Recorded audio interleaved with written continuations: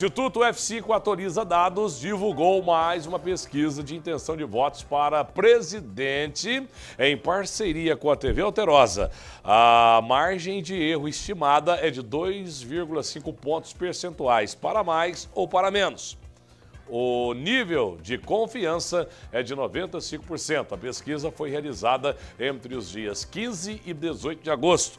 1.625 pessoas foram entrevistadas. A pesquisa foi registrada no Tribunal Superior Eleitoral. Põe no ar.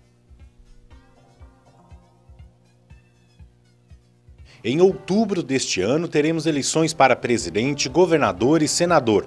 Se a eleição para presidente fosse hoje, em quem você votaria? Lula aparece com 29,3%. Jair Bolsonaro vem em seguida com 22,9%. Ciro Gomes tem 1,4%.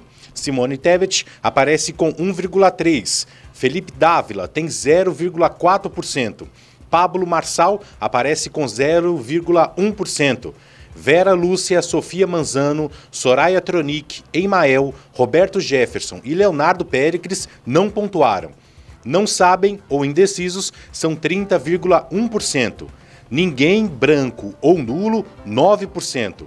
Não responderam à pesquisa, 5,5%. No segundo cenário, quando os nomes dos candidatos para presidente são citados para os entrevistados, o resultado ficou assim: Lula aparece com 43,4%. Jair Bolsonaro vem em seguida, com 33,9%. Ciro Gomes tem 4,3%. Simone Tebet aparece com 2,3%. Pablo Marçal tem 1,2%. Felipe Dávila aparece com 0,9%. Vera Lúcia tem 0,4%. Sofia Manzano Soraya Tronic, Eimael, Roberto Jefferson e Leonardo Péricles atingiram 0,1%. Não sabem ou indecisos são 8,2%. Ninguém branco ou nulo, 4%. Não responderam, 0,9%.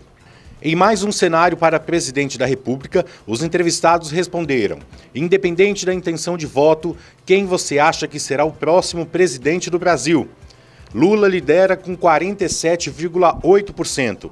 Jair Bolsonaro vem em seguida com 37,1%.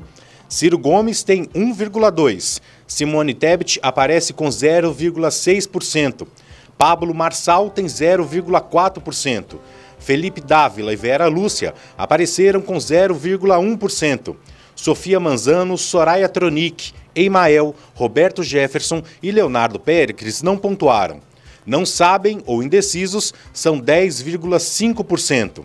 Não responderam 2,2%. A pesquisa também questionou, em um possível segundo turno entre Jair Bolsonaro e Lula, em quem você votaria?